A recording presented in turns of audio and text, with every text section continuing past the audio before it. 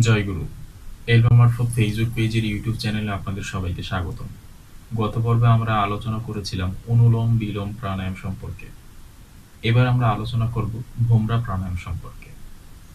ভ্রমরা প্রাণায়ামের জন্য আপনাদের যেটা আবারও বলছি সেটা হচ্ছে আসনে বসবেন, সুখাসন, পদ্মাসন, বক্রাসন। আপনার যেটা ভালো লাগে, আপনি আপনার ইচ্ছা মতো আসন গ্রহণ করুন। তারপরে সোজাভাবে বসুন।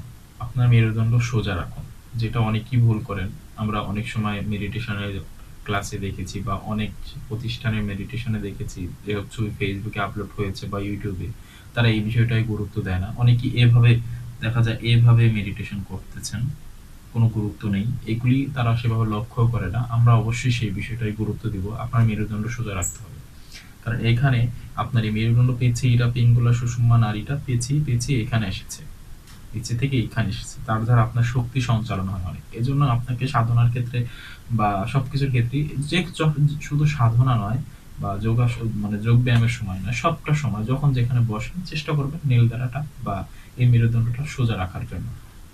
তো ভোমরা প্রাণায়ামের জন্য যেটা করতে হবে সেটা হচ্ছে আপনাদের নির্দিষ্ট আসন বসুন, তারপরে এভাবে এভাবে হাতটি নেন।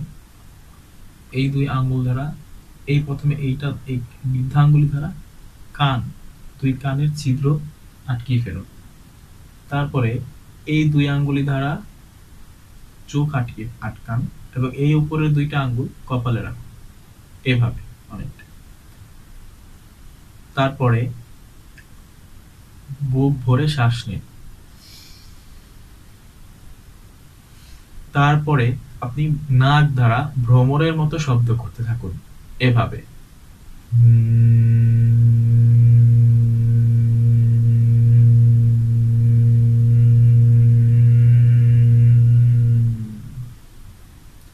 তারপর আবার শ্বাস গ্রহণ করুন।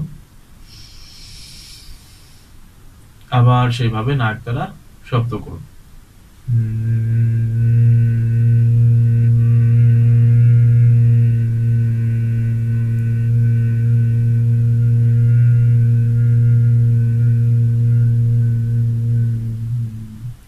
আবার বুক ভরে শ্বাস গ্রহণ করুন।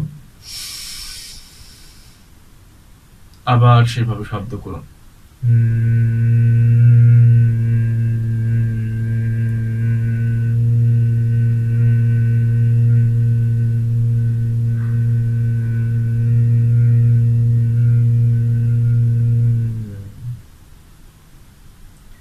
আপনারা এভাবে ভ্রমর যেভাবে শব্দ করে ভুন ভুন করে, সেভাবে আপনারা ডাক দ্বারা হুম করে শব্দটা করবেন। আর মুখ তখন বন্ধ থাকবে। শ্বাস প্রশ্বাসের বা ভেতরে যে দমটা নিয়েছেন বা শ্বাসটা শ্বাস প্রশ্বাস নিয়েছেন, এই বায়ুটা যেন কোনো দিক থেকে বের না হয়। নাক ধারা আপনারা এটা বের করবেন অনেকে অনেকে ভাবে যে নাক ধারা মনে হয় আমরা দমটা বের করছি না। নাক ধারা আপনি দম বের করার চেষ্টা করবেন না। আপনি যখন ভ্রমণের মতো হুম করে শব্দটা করতে থাকবেন, আস্তে জোরে জোরে, তখন দেখা যাবে অটোমেটিক্যালি আপনার এটার সাথে শ্বাসটা বের হয়ে আসবে, আপনাকে শ্বাস বের করতে হবে না। আপনি তিরিশ সেকেন্ডের মতো এটা করলে দেখবেন আপনার দম শেষ হয়ে গেছে, আপনি পুনরায় আবার দম নিন। এটা পনেরো থেকে পনেরো থেকে বিশ মিনিটের মতো করুন, তাহলে আপনার যে মাথায় যে অনেক সময় আমরা অনেক কাজ করলে টেনশনে ভুগি ডিপ্রেশনে ভুগি হ্যাঁ তারপরে হতাশায় ভুগি, সেই বিষয়গুলো আমাদের দূর হয়ে যাবে।